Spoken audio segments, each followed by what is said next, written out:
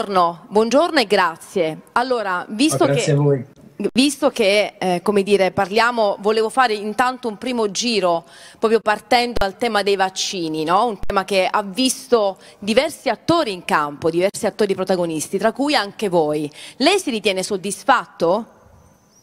Ma io credo di, di sì, dobbiamo essere tutti soddisfatti perché il Covid è stata una tragedia epocale però noi dopo 12 mesi stiamo raccontando una bella storia, una bella storia che non era scontata. Nessuno credo ci avrebbe scommesso un centesimo a marzo dello scorso anno eh, sulla possibilità di aver avuto dei vaccini disponibili. Quindi io credo che sia questo che si deve raccontare, perché questo è stato possibile attraverso una partnership da, da parte di tutti, le imprese, i ricercatori, le autorità, le istituzioni.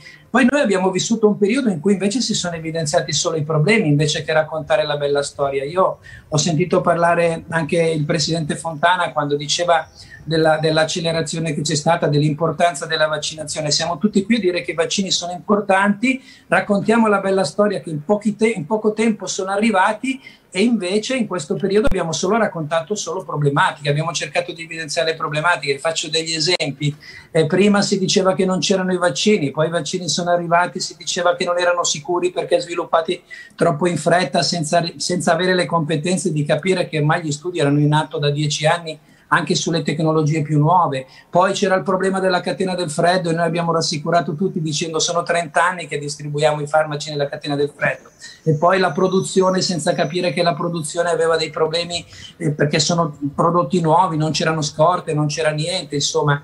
Insomma, sempre, adesso poi si parla sempre solo di brevetti senza raccontare la storia che stiamo raccontando, perché vedere quel numero di vaccinazioni che è aumentato così tanto, per me è una bella storia. Vi dico anche un'altra cosa, ehm, ci sono solo quattro vaccini. Su questi quattro vaccini si stanno facendo carico della produzione mondiale di tutto il mondo, per, per tutti. E vi voglio dire anche un'altra cosa. Pensate che la ricerca non è mai così scontata, così come la produzione di prodotti nuovi. Pensate che ci sono 280 progetti di vaccini nel mondo. Se andate sul sito dell'Organizzazione Mondiale della Sanità li trovate tutti. Ce ne sono 111 di questi sperimentazione clinica sull'uomo, ne sono arrivati 4. Quindi vuol dire che la ricerca non è un percorso così scontato e questi quattro, come dicevo prima, si stanno facendo carico della produzione per tutto il mondo. Il problema qual è stato? È stato che sono arrivati presto e sono arrivati presto grazie alla proprietà intellettuale, perché se non ci fosse la proprietà intellettuale non ci sarebbe stata la ricerca.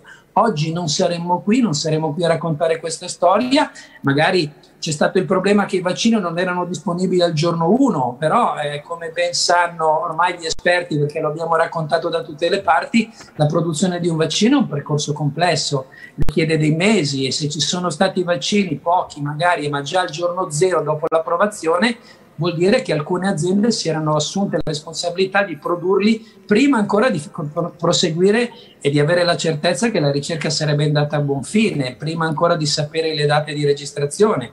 Quindi io credo che oggi stiamo veramente raccontando una bella storia, il vaccino è la soluzione e lo stiamo vedendo con le riaperture, lo hanno detto tutti, il vaccino è la soluzione per uscire, per uscire dalla, da, questa, da, questo, da questa crisi.